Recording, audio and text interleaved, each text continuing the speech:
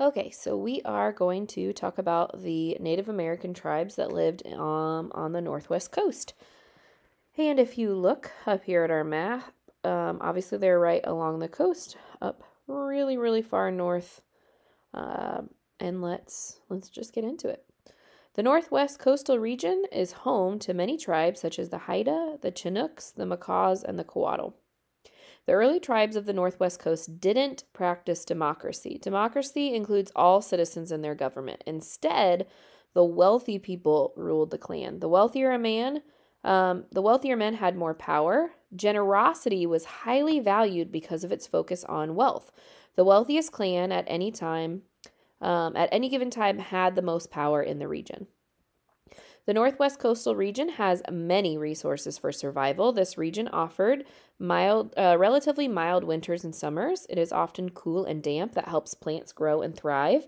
There are many rivers, lakes, coastal waters, which serve as sources for water for the people and the animals they hunted. It also provided a place for fish and other aquatic or water dwelling animals to live. They are vast forests that are home to wild animals. Because this area ha- is so rich in natural resources, it was easy for early residents to live. They could be hunters, gatherers, and fishermen. There wasn't much need for agriculture or farming since food was already so plentiful. The Northwest Coast region is well known for its abundance of food. Animals roam the forest along the Northwest Coast. They often migrate throughout the forest and along waterways. The early peoples commonly hunted animals such as rabbit, deer, and elk. They also fished and hunted much of their food from nearby waters. Salmon, seals, and whales are some of their favorite prey. They used harpoon type spears to catch them. Whales, their main source of food, were the most difficult to catch, however. It was worth the effort. Sometimes it would take days to catch a whale, and it would be it would provide the people with food, rope, and skin for containers. Blubber or whale fat could be used as oil and drizzled on food. The Northwest Coast people traveled by canoes made out of cedar wood. They were called dugouts and used to catch seafood. They also traveled by foot to gather foods in the wild. The bushes gave them berries. The water provided shrimp, animal eggs, and oysters. To gather food, the people created beautiful baskets, and some baskets were woven with a unique family design. Since the Northwest Coast peoples did not have to go far for food, their homes were sturdy and made for permanent residence. Most of them lived in long rectangular buildings called longhouses. They were made from huge cedar planks. The giant cedar trees would be cut down and then split with beaver teeth and stone axes.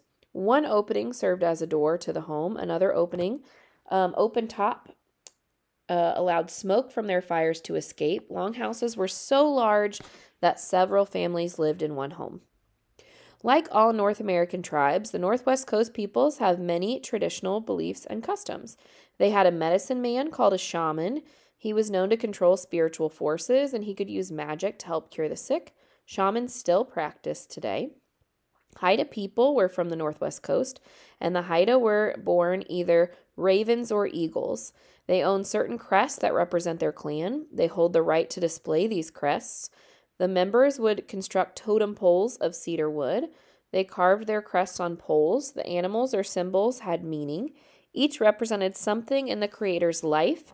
Each carving had a three part story the past, the present, and the future.